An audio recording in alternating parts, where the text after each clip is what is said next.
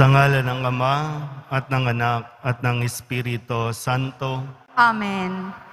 ang pagpapala at kapayapaan mula sa Diyos na Ama natin at sa Panginoong Heso Kristo naway sumainyo. At sumayo rin. Mga kapatid, upang tayo ay maging marapat gumanap sa banal na pagdiriwang, aminin natin at pagsisihan ang ating mga kasalanan.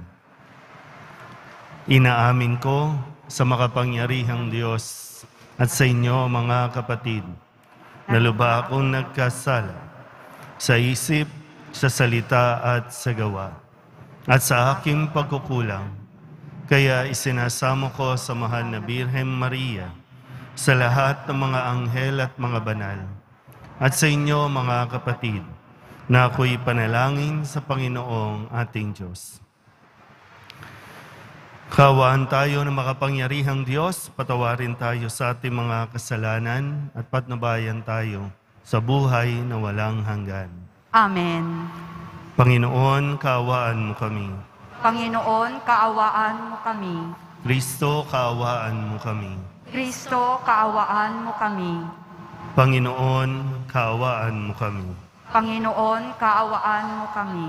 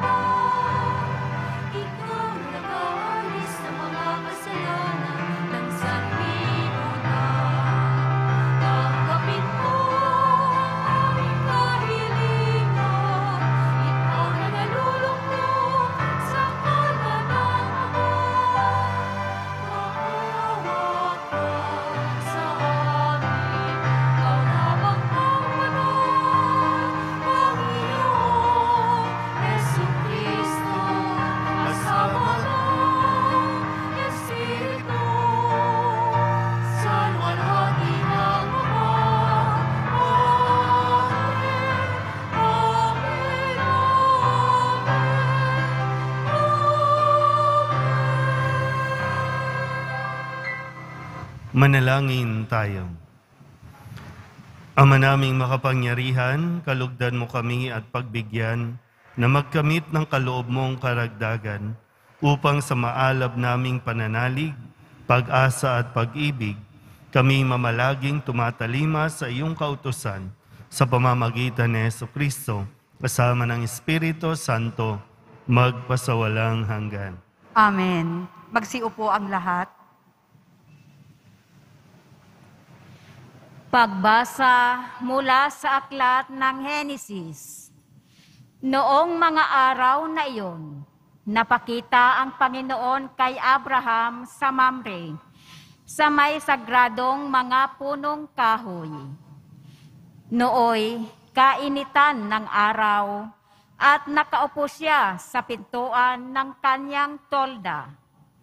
Walang ano-ano'y may nakita siyang tatlong lalaking nakatayo. Patakbo siyang sumalubong. Yumukod ng halos sayad sa lupa ang mukha at sinabi, Mga ginoo, kung inyong mamarapatin, magtuloy po kayo sa amin. Dito muna kayo sa lilim ng punong ito at ikukuha ko kayo ng tubig na panghugas sa inyong mga paa. Magpapahanda tuloy ako ng pagkain para manauli ang lakas ninyo bago kayo magpatuloy sa inyong paglalakbay. Ikinagagalak ko kayong paglingkuran habang naririto kayo sa amin. Sila'y tumugon, Salamat, ikaw ang masusunod. Si Abraham ay nagdudumaling pumasok sa tolda at sinabi kay Sarah, Madali ka, kumuha ka ng tatlumpong librang harina at gumawa ka ng tinapay. Pumili naman siya ng isang matabang guya sa kulungan at ipinaluto sa isang alipin. Kumuha rin siya ng keso at sariwang gatas at inihain sa mga panauhin kasama ang nilutong karne. Hindi siya lumalayo sa tabi ng mga panauhin habang sila'y kumakain. Samantalang sila'y kumakain, tinanong nila si Abraham, Nasaan ang asawa mong si Sarah? Nandoon po sa tulda, tugon naman nito. Sinabi ng panauhin, Babalik ako sa isang taon sa ganito ring panahon at pagbabalik ko'y may anak na siya. Ang salita ng Diyos. Salamat sa Diyos. Sino kayang tatanggapin sa templo ng puon natin? Sino kayang tatanggapin sa templo ng puon natin? Yaong mga masunurin na sa iyo'y nakikinig at ang laging ginagaway naaayon sa matuwid. Kung mangusap ay totoo sa lahat at bawat saglit, yaong gawang paniniray, hindi niya naiisip. Sino kayang tatanggapin sa templo ng puon natin? Kailanman siya'y tapat makisama sa kapwa. Sa kanyang kaibigay, wala siyang maling gawa. Hindi siya nagkakalat ng ditunay na balita at itinatampok niya ang matapat sa lumikha. Sino kayang tatanggapin sa templo ng puon natin? Hindi siya humihingi ng patubo sa pautang. At kahit na anong gawi, hindi siya masuhulan. Upang yaong walang salay, patawan ng kasalanan. Ang ganitong mga tao'y mag-aani ng tagumpay. Sino kayang tatanggapin sa templo ng puon natin?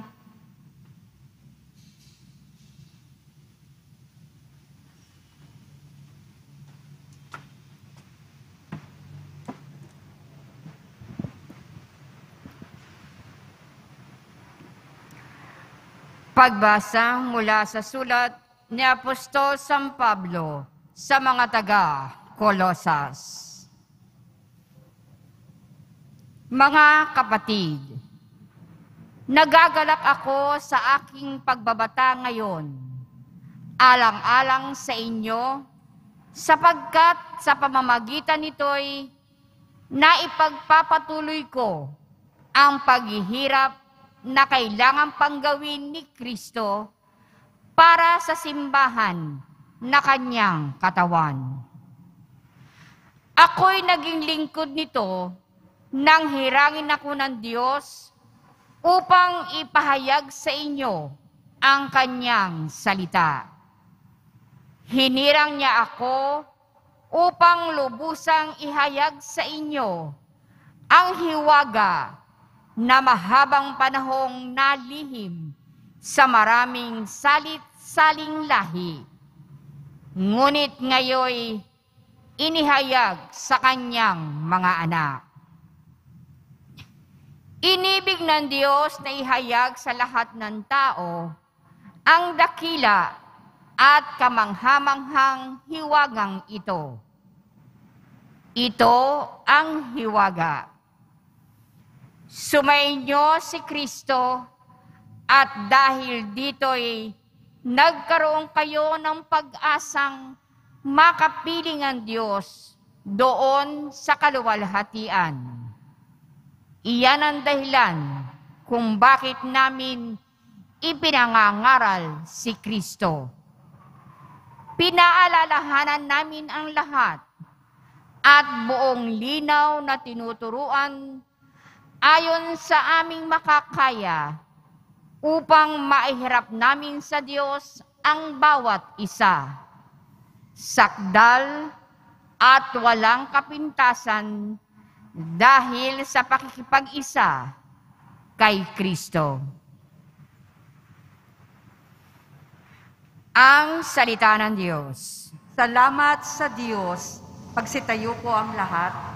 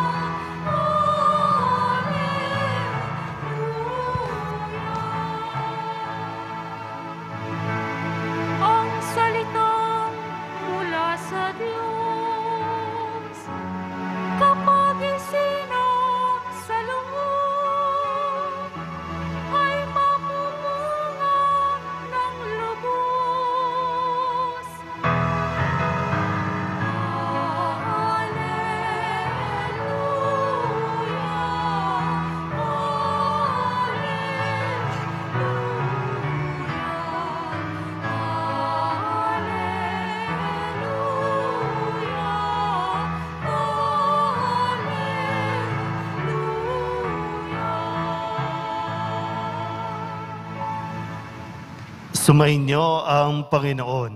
At sumaiyo rin. Ang mabuting balita ng Panginoon ayon kay San Lucas. Papuri sa iyo, Panginoon. Noong panahong iyon, pumasok si Jesus sa isang nayon. Malugod siyang tinanggap ng isang babaeng nagngangalang Marta sa tahanan nito. Ang babaeng ito'y may isang kapatid na Maria ang pangalan. Naupo ito sa paanan ng Panginoon at nakinig sa kanyang itinuturo. Alalang-alala si Marta sapagkat kulang ang kanyang katawan sa paghahanda, kaya't lumapit siya kay Jesus at ang wika, Panginoon, sabihin nga po ninyo sa kapatid kong, tulungan naman ako. Ngunit sinagot siya ng Panginoon, Marta, Marta, naliligalig ka at abalang-abala sa maraming bagay. Ngunit isa lamang ang talagang kailangan. Pinili ni Maria ang lalong mabuti at ito'y hindi aalisin sa kanya. Ang mabuting balita ng Panginoon. Pinupuri ka namin, Panginoong Heso Kristo. Magsiupo ang lahat. Isang magandang maga po sa inyong lahat. Palapakan natin ang pong Jesus Nazaren.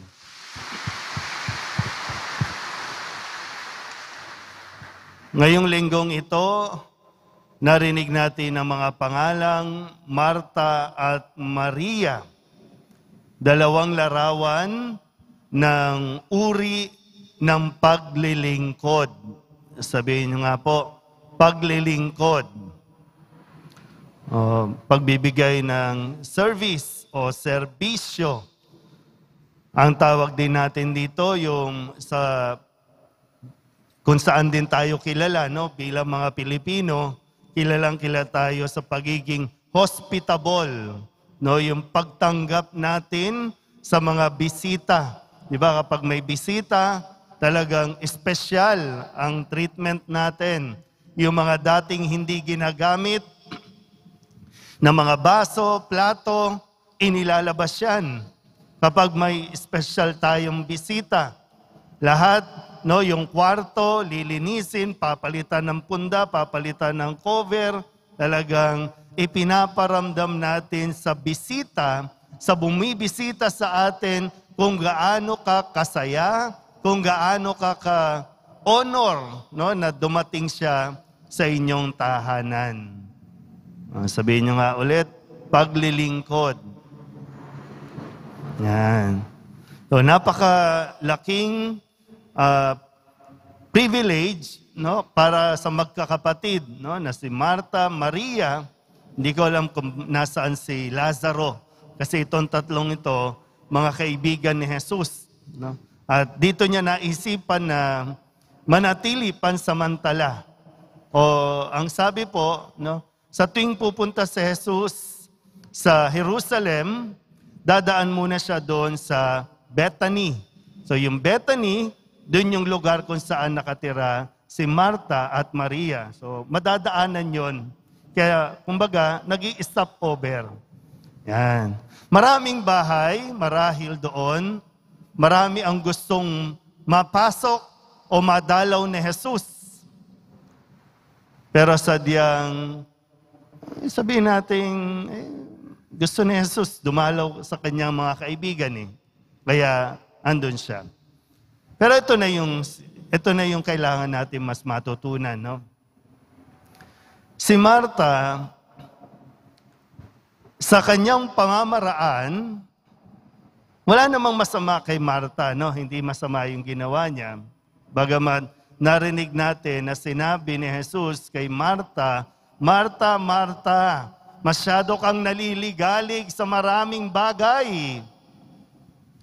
Kalma ka lang, Marta, kalma ka lang. Kasi si Marta, yung pamamaraan ng paglilingkod niya, eh gusto niyang asikasuhin si Jesus sa pamamagitan ng paghahanda, pagluluto, kasi gusto niya siguro pakainin si Jesus ng masarap na pagkain. Hmm. Masama ba yon? Hindi naman. Kasi gusto nga niya talaga ma... Siguro dahil alam niya, pagod si Jesus, so paghandaan natin ito. Hmm. Ang problema lang ay pinili niya yung ganong pamamaraan. Siya magluluto, siya mag-aasikaso, no? pwedeng magkakatay pa ng, ng, ng manok, no? maghihiwa pa ng kung ano-ano. Kaya nagsumbong. No? Ilan ba yung nakaka-relate dito kay Marta? Na ginagawa yung mga gawaing bahay, ginagawa yung mga trabaho, pero reklamo naman ng reklamo. Birin mo, bisita, inutusan pa para sabihan si Maria. Sabi niya, di ba, Panginoon, sabihan mo naman yung kapatid ko, tulungan naman ako. Pagod na eh, di ba, no? Sabi nga, isa lang ang katawan ni Marta. Hmm, inutusan pa yung bisita. Sabihin mo nga, no, Panginoon, sabihin mo yung kapatid ko, tulungan naman ako. Hmm. Ilan ba yung nakaka-relate dito? Hmm. Yun, ikaw na iglalaba, ikaw naghuhugas, ikaw naglilinis ng bahay.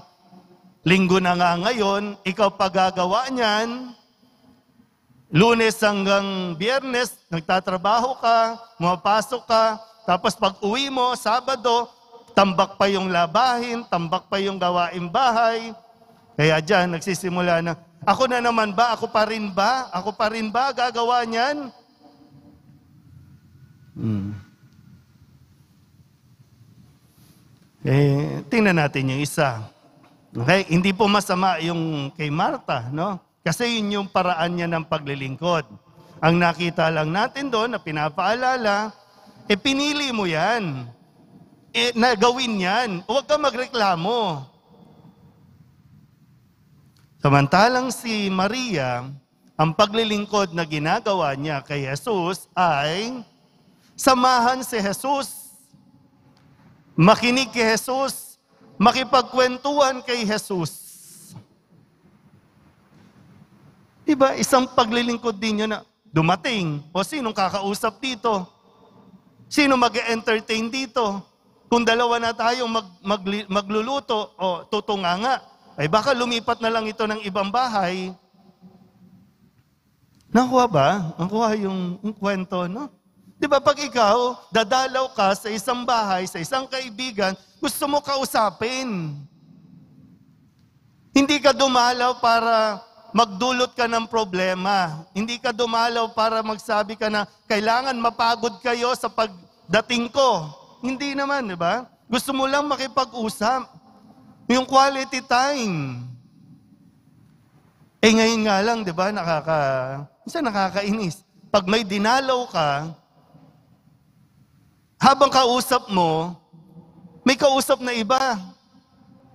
Kausap mo na, hindi naman binibitawan ng cellphone, mayat maya nakikipag-chat, mayat maya nakikipag-text. Ay di wag na lang tayong magdalawan, mag-chat na lang tayo.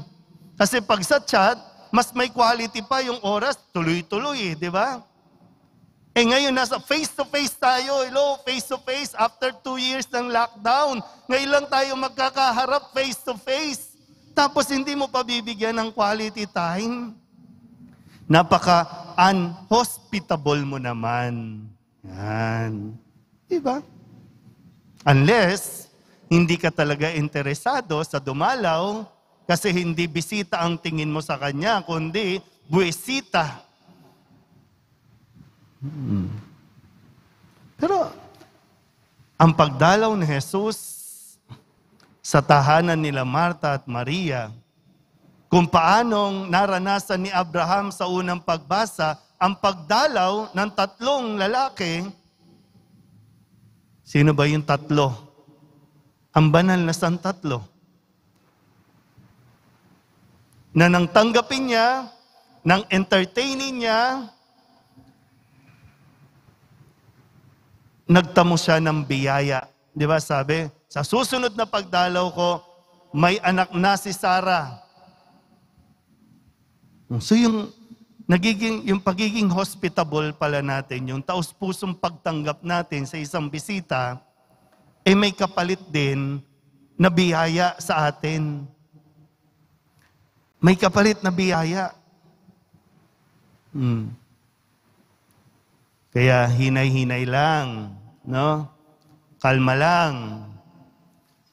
Minsan lagi natin, lagi kong pinapaalala, no? Dahil ako po ay in charge sa formation ng mga organisasyon dito po sa simbahan ng Quiapo. Baka nagiging Marta na. Sabihin nyo nga sa mga naglilingkod sa simbahan, huwag kang Marta. Oh, nawala na ako rito. Asan yung mga tao dyan? nawala na tuloy. Wala tuloy sila habang pinapangaralan. eh, hindi naman, ayun. Di ba? Baka nagiging Marta ang mga naglilingkod sa simbahan. Hindi naman masama, pero baka nag-aaway-away na kasi bakit ganon? Ako na lang na ako, ako na nasa umaga. Baka gusto nyo kayo naman sa umaga. Hmm, pati sa lay minister, no? sa kristan, lektor, kolektora, ihos, mga kababaihan, baka hindi na talaga tayo nakakapaglingkod. Kasi nagtuturuan na tayo. Kaya minsan, nadu, no, nabubundol na kayo na, oh, di na, hulog na kayo, hulog. Kasi masama na ang loob. Nagkakagalit-galit na. Nag-aaway-away na. Gusto lang naman maglingkod. Hmm, Kaya relax lang. Kasi baka natapos ang misa, minsan po ang mga naglilingkod dito sa simbahan, dalawa o tatlong misa po ang pinag, nagsiserve sila, no? Baka natapos lahat ng schedule, hindi ka nakapagsimba. No? Lagi ko nire-remind yan eh. Nag-serve ka, pero hindi ka nakapagsimba. Kasi nga, aligaga ka. Masyado kang maligalig. Hmm. So, ganun din nawa, no? Sa buhay natin, sana tanggapin natin si Jesus. Gusto ni Jesus pumasok sa ating buhay. Ha? Tandaan niyo, gustong pumasok. So, nasa sayo po kung alin ang pipiliin mo na pamamaraan. Wala namang masama sa pareho, no? Pero kailangan mong piliin at kung ano man ang piliin mo, eh, gawin mo ng masaya. gawin mo ng kalmado, nang hindi tumitingin sa kung ano ang ginagawang pamamaraan ng iba. Amen? Tumayo po ang lahat.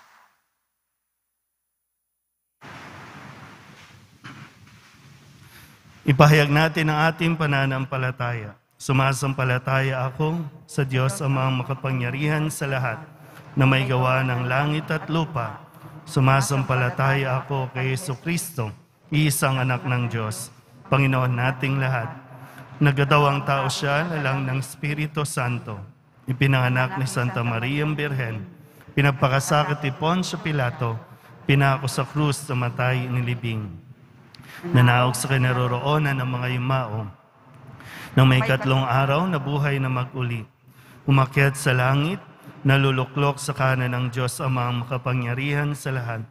Doon magmumula ang paririto at hukom sa nangabubuhay at nangamatay na tao. Sumasampalataya naman ako sa Diyos Espiritu Santo, sa banal na simbahang katolika, sa kasamahan ng mga banal, sa kapatawaran ng mga kasalanan, sa pagkabuhay na muli ng nangamatay na tao, at sa buhay na walang hanggan. Amen. Dumudulog kami sa iyo, Ama, upang malugod naming maisabuhay ang iyong pag-ibig, nang sa gayoy magiliw at mabuti naming mapakitunguhan at mapaglingkuran ang aming kapwa. Buong tiwala kami dumadalangin. Ama, dinggin mo ang aming panalangin. Ama, dinggin mo ang aming panalangin. Para sa mga namumuno ng simbahan at pamahalaan, makinig at tumaliwan nawa sila sa iyo, Ama, upang mapanibago sila tungo sa pagpapumbaba at katapatan sa paglilingkod. Manalangin tayo. Ama, dinggin mo ang aming panalangin.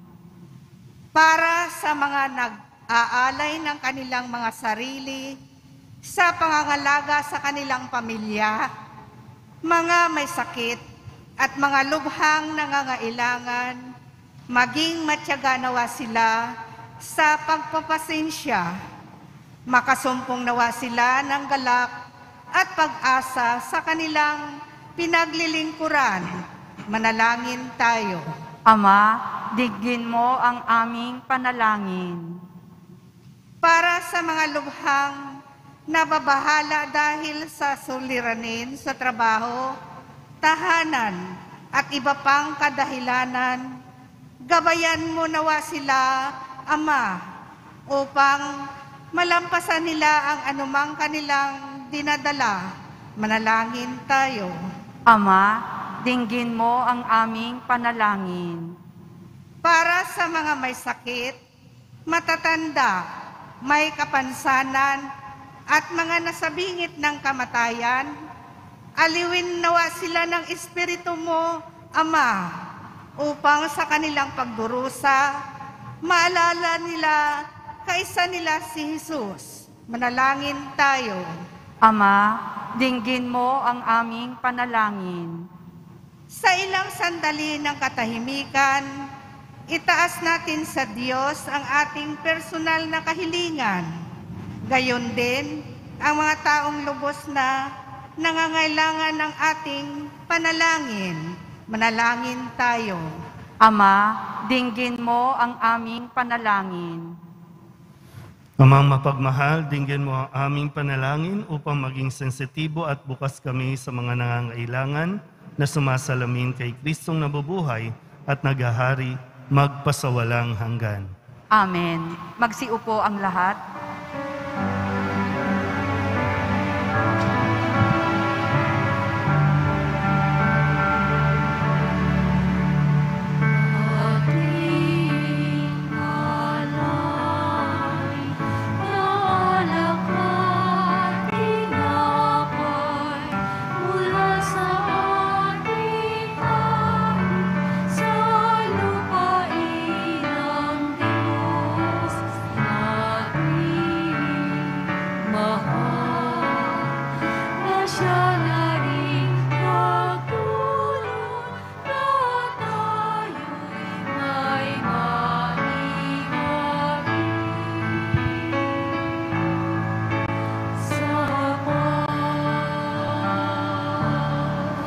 Tumayo po ang lahat. Manalangin kayo mga kapatid upang paghahain natin ay kalugdan ng Diyos sa mga makapangyarihan. Tanggapin nawa ng Panginoon itong paghahain sa iyong mga kamay, sa kapurihan niya at karangalan, sa ating kapakinabangan at sa buong sambayanan niyang banal. Ama naming lamika, lahat ng iyong mga paghahaing ipinag-utos noong araw ay iyong pinagtibay sa isang haing hantungan ng tanan. Tanggapin ang ginaganap ngayon ng iyong mga lingkod at basbasan mo ito ng kabanalang gaya ng iyong kaloob sa mga alay ni Abel na lubha mong ikinalugod upang ang mga handog ng bawat isang nagbigay para sambahin ang banal mong ngalan ay magkamit ng karagdagan mong kasiyahan sa pamamagitan ni Yesu Kristo kasama ng Espiritu Santo magpasawalang hanggan. Amen. Sumainyo ang Panginoon. At sumaiyo rin. Itaas sa Diyos ang inyong puso at diwa. Itinaas na namin sa Panginoon. Pasalamatan natin ang Panginoong ating Diyos. Marapat na siya ay pasalamatan. Ama naming makapangyarihan, tunay ngang marapat na ikaw ay aming pasalamatan. Sa iyong kagandahang loob, kami ay iyong ibinukod upang iyong maitampok sa kadakilaan mong lubos. Kahit na ikaw ay aming tinalikdan, dahil sa aming pagkasalawahan, gumawa ka pa rin ng magandang paraang may manguna sa amin para ikaw ay balikan. Kaya't ang iyong minamahal na anak ay naging isa sa mga taong hamak upang may kapwa kaming makapagligtas sa aming pagkapahamak at pagkaligaw ng landas. Kaya kaisa ng mga anghel nagsisiawid ng papuri sa iyo nang walang humpay sa kalangitan. Kami nagbubunyi sa iyong kadakilaan.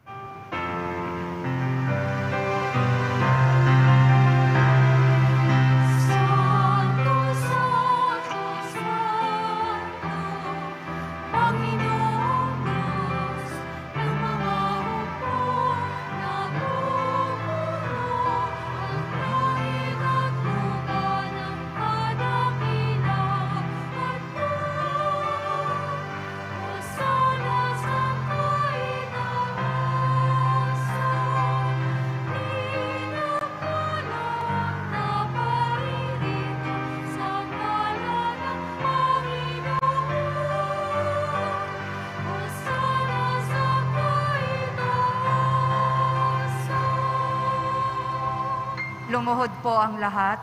Ama naming banal, ikaw ang bukal ng tanang kabanalan. Kaya't sa pamamagitan ng iyong Espiritu, gawin mong banal ang kaloob na ito upang para sa aming maging katawan at dugo ng aming Panginoong Heso Kristo.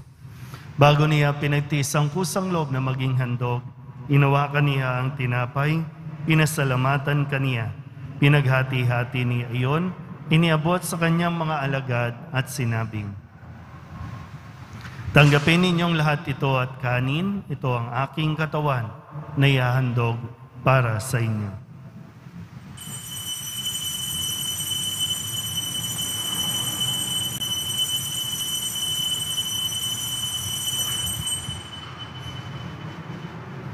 Gayun din naman nung matapos ang hapunan, hinawakan niya ang kalis, muli kaniyang pinasalamatan.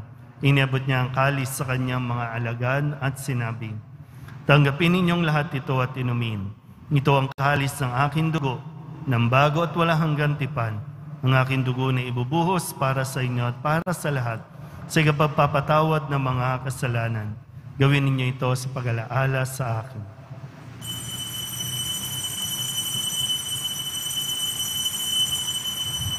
Tumayo po ang lahat. Ipagbunyi natin ang misteryo ng pananampalataya. Si Kristo'y namatay, si Kristo'y nabuhay, si Kristo'y babalik sa wakas ng panahon. Ama, ginagawa namin ngayon ang pag-alaala sa pagkamatay at muling pagkabuhay ng iyong anak, kaya tiniaalay namin sa iyo ang tinapay na nagbibigay buhay at ang kalis na nagkakaloob ng kaligtasan. Kami nagpapasalamat dahil kami iyong minarapat na tumayo sa harap mo para maglingkod sa iyo. Isinasamo namin kami magsasalo-salo sa katawan at dugo ni Kristo ay mabuklod sa pagkakaisa sa pamamagitan ng Espiritu Santo. Ama, lingapin mo ang iyong simbahang laganap sa buong daigdig. Puspusin mo kami sa pag-ibig kay San Francisco na aming Papa, at ni Jose na aming Obispo, at ng Tanang Kaparian. Alalahanin mo rin ang mga kapatid naming nahimlay na may pag-asang sila'y muling mabubuhay, gayon din ang lahat ng mga pumanaw. Kawaan mo sila at patuloyin sa iyong kaliwanagan. Kawaan mo at pagindapating kaming lahat na makasalo sa iyong buhay na walang wakas. Kay sana mahal na Birhem Maria na ina ng Diyos, ng kabiyak ng puso niyang sa San Jose. Kay sana mga apostol at ng lahat ng mga banal na namuhay dito sa daigdig ng kalugod-lugod sa iyo. May pagdiwang nawa namin ng papupuri sa ikararangal mo sa pamamagitan ng iyong anak na aming Panginoong Heso Kristo. Sa pamamagitan ni Kristo, kasama niya at sa Kanya, ang lahat ng parangal at papuri ay sa iyo, Diyos Ama, makapangyarihan, kasama ng Espiritu Santo, magpasawalang hanggan.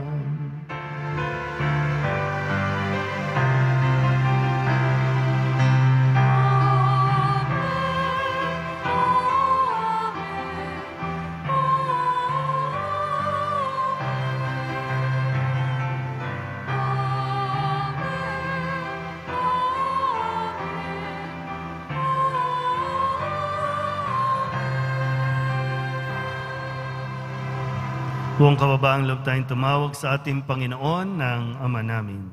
Ama namin, Sumasalangit ka, sambahin ang ngalan mo, mapasa amin ang kaharian mo, sundin ang loob mo dito sa lupa para nang sa langit.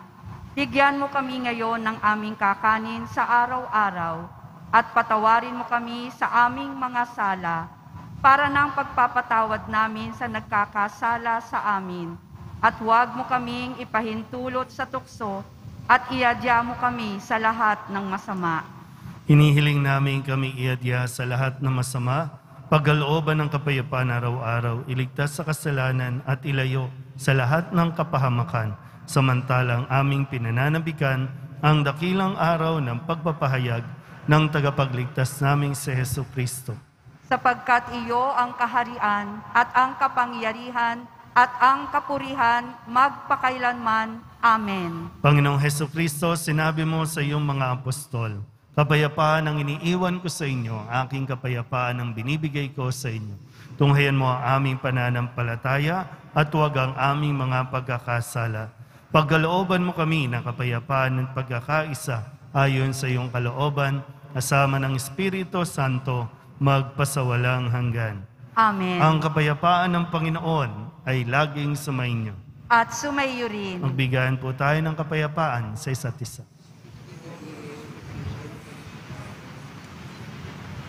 Kodero ng Diyos na nag-aalis ng mga kasalanan ng sanlibutan, maawa ka sa amin.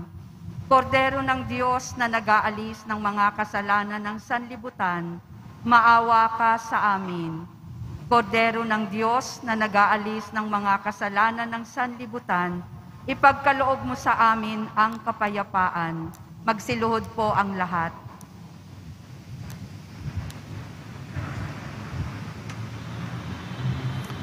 Ito ang kordero ng Diyos. Ito ang nag-aalis ng kasalanan ng sanlibutan. Mapalad ang mga inaaniyahan sa kanyang piging. Panginoon, hindi ako karapat-dapat na magpatuloy sa iyo. Ngunit sa isang salita mo lamang ay gagaling na ako.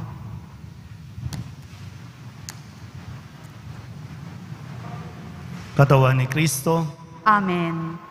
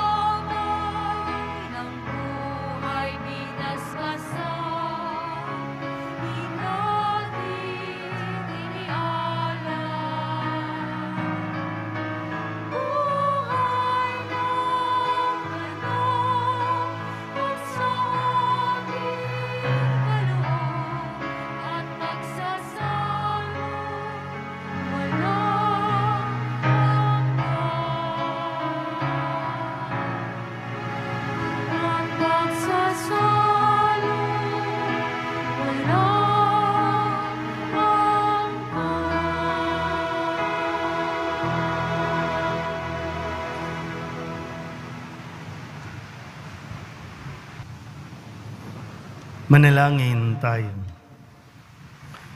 Ama naming mapagmahal, manatili kang kapiling ng iyong sambayanan na ngayon pinapakinabang mo sa iyong sariling buhay at gawin mong kami pasulong na makahakbang mula sa dati naming pagkamakasalanan patungo sa pagbabagong nagdudulot ng iyong kabutihan sa pamamagitan ni Yeso Kristo kasama ng Espiritu Santo magpasawalang hanggan. Amen. Sumainyo ang Panginoon. At sumayo rin. Manalangin tayo para sa pagbabasbas. Mahal na po ang Jesus Nazareno, inihayag mo sa pamamagitan ng krus ang walang maliw na pag-ibig ng Diyos sa sangkatauhan. Pakinggan mo ang kahilingan ng iyong angka na nagsusumamo sa iyo. Makamtanawa nila ang inyong katugunan at tanggapin ang kasagutan na may utang na loob na tinatanaw. Basbasan din po ninyo ang mga daladala nila, mga imahin at dasalan at lahat ng mga may karamdaman. Sa pamamagitan ng bendisyon na ito, naway maalala nila ang pangako nila noon sa binyag na ikaw ay kanilang ibigin at paglilingkuran bilang Panginoon magpasawalang hanggan. Amen. At pagpalain kayo na makapangyariang Diyos, Ama at Anak at Espiritu Santo. Amen. Mayo kayong taglay ang kapayapaan ng poong Jesus Nazareno. Salamat sa Diyos. Magandang umaga po.